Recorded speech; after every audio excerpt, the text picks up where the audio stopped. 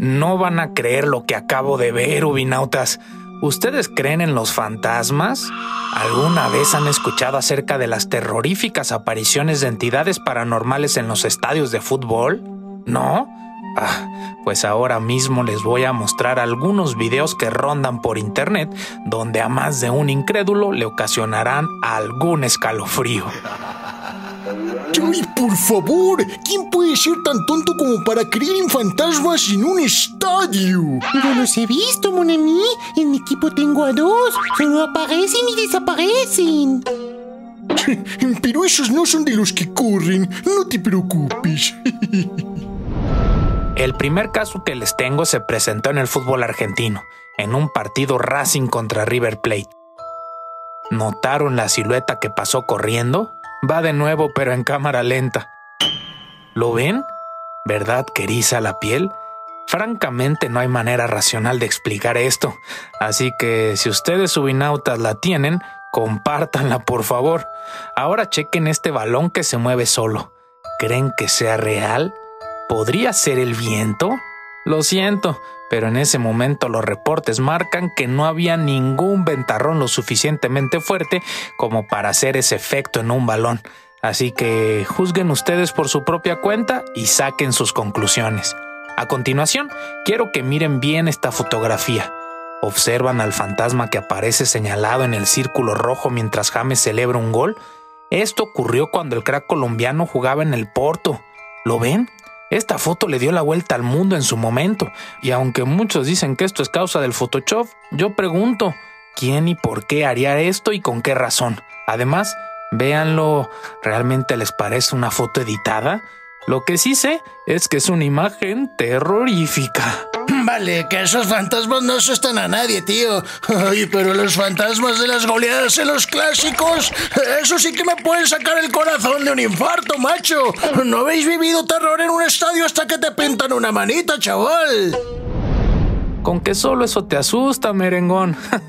ya veremos después de ver los siguientes casos escalofriantes que quedan por mostrarles. Miren a este fantasma que fue capturado en video mientras daba un paseo por la tribuna. ¿Lo ven? Sigan el círculo rojo. ¿Qué opinan? ¿Qué diablos es eso sino un fantasma? ¿O acaso creen que se podría tratar de algún efecto en edición? En lo que arman sus propias teorías, les voy a mostrar a continuación uno de los casos más curiosos. Durante el festejo de un gol en Venezuela, el jugador César Martínez hizo flotar el balón en el aire sin tocarlo.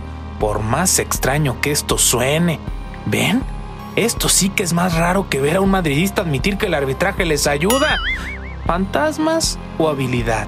¿Magia o caso paranormal? ¿Héroe o amenaza? Ustedes mismos decídanlo. Para terminar, el próximo caso les advierto que es sumamente polémico. Vean cómo este jugador del fútbol brasileño, mientras corría aparentemente tranquilo, se cayó sin que absolutamente nadie lo tocara pero no fue una caída normal, sino que más bien parece un tropezón provocado por...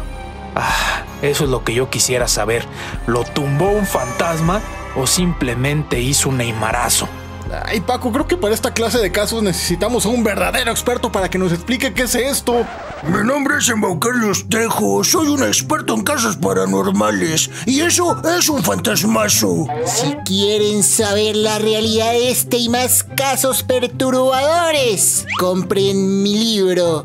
Esto es obra de ovnis, no hay duda. Nada de eso, caras. Neibar es el único experto que necesitamos. Y eso es un clavadiño muy tomaliño. 3.1 grados de dificultad, pero muy mal tirado. Ese es un vulgarciño chapunazo de piscina, hermano. Pero Neibar, mira bien. Claramente se ve que lo ha tropezado un ente maligno. Claro, cara. Es tan maligno para tirarse clavadiños que no engaña a nadie. Fue justo lo que dije, Ah, este experto sí que sabe, Paco. ¿Lo ves? Es un profesional. ¿Profesional de qué? Si no he ido a entrenar en toda la semana. ¿Eh? ¡Ah! ¿Vieron? El fantasma del fútbol me ha golpeado, cara. Me ha lesionado. No podré ir a entrenar el próximo mes. ¡Ay, qué dolor, hermano! ¡Una ambulancia! por favor. Se los dije, se los dije.